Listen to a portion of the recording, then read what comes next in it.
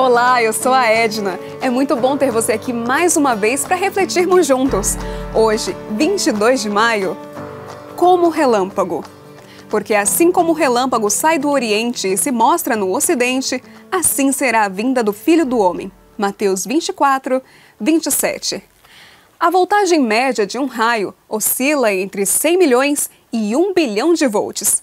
Uma corrente da ordem de 30 mil amperes é gerada e ela seria suficiente para acender cerca de 50 mil lâmpadas. O maior raio que se tem registro caiu no Brasil. Percorrendo cerca de 710 quilômetros, o fenômeno cortou o céu do sul do país em 31 de outubro de 2018. É mais que o dobro do recorde anterior, registrado em Oklahoma, nos Estados Unidos, com 321 quilômetros.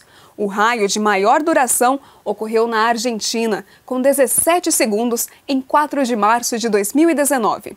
Jesus comparou a visibilidade de sua vinda com um raio. Porque assim como o relâmpago sai do Oriente e se mostra no Ocidente, assim será a vinda do Filho do Homem. O retorno do Senhor será visto de um ponto a outro neste planeta. Como um raio, ele rasgará o céu e revelará a glória e o poder de Deus. A segunda vinda de Jesus impactará a vida e a história do ser humano por toda a eternidade.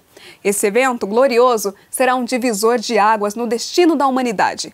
Não será visto por alguns, mas todo olho o verá.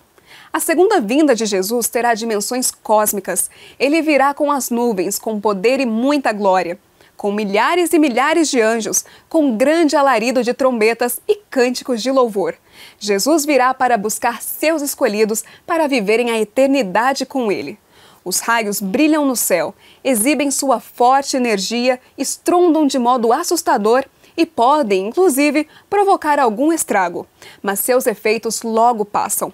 A volta de Jesus, no entanto, será muito mais forte do que o maior dos raios e deixará efeitos permanentes. O céu vai se enrolar como pergaminho e se abrirá para dar passagem para a mais gloriosa comitiva do universo. No centro dela, o rei, assentado em seu trono, virá para resgatar seus filhos. Como um raio, ele energizará esse planeta com sua justiça, a qual dará galardão aos fiéis e castigo para os ímpios. Você está preparado para esse grande evento? Querendo ou não, o mundo terá de parar e olhar para aquele que vem nas nuvens.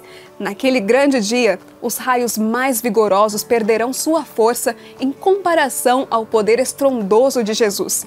Esteja pronto para ser iluminado com a glória do retorno do Senhor e dizer que Ele é o Deus a quem você aguardava.